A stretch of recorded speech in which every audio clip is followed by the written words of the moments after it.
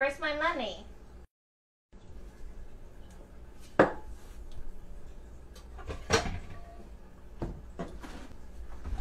Hey, babe. Uh huh. If somebody told you that they'd give you a million dollars for knocking me out, what would you do? Where's my money?